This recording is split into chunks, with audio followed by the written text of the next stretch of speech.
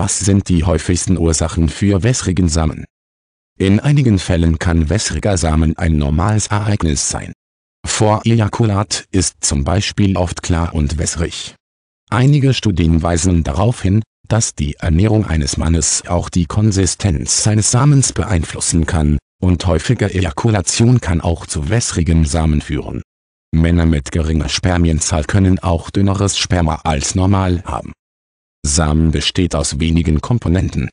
Sperma macht nur einen geringen Prozentsatz des Samens aus und wird in den Hoden produziert. Etwa die Hälfte des Samens besteht aus einer Flüssigkeit, die in den Samenbläschen gebildet wird. Diese Flüssigkeit ist sehr reich an Fructose, die dem Sperma Energie zum Schwimmen liefert.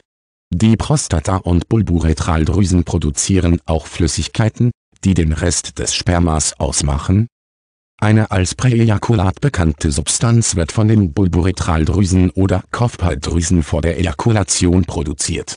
Diese Flüssigkeit wird zur Schmierung beim Geschlechtsverkehr und bei der Ejakulation verwendet und kann häufig an der Spitze des Penis eines Mannes gesehen werden, wenn dieser sexuell erregt ist. Obwohl diese Substanz alleine kein Sperma enthält und eigentlich kein Sperma ist, kann sie wässrigen Sperma ähneln die Ernährung kann unter anderem auch die Konsistenz des Samens beeinflussen. Ein Mann kann wässrigen Samen haben, wenn er nicht die richtige Menge bestimmter essentieller Nährstoffe erhält. Es wird angenommen, dass Protein zum Beispiel dazu beiträgt, Samen dicker zu machen. Ein Mann, der nicht genug Protein in seiner Ernährung hat, kann wässrigen Samen haben.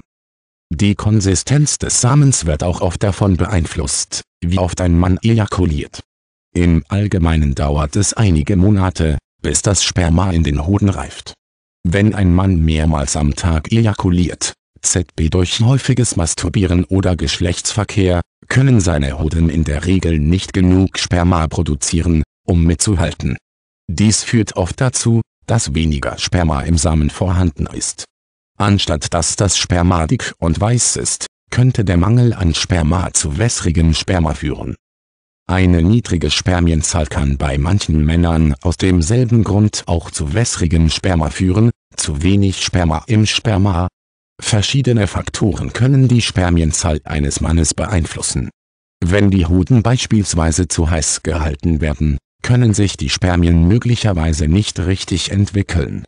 Zu enge Kleidung kann manchmal zu einem Temperaturanstieg der Hoden eines Mannes führen, insbesondere wenn er mit dieser Kleidung trainiert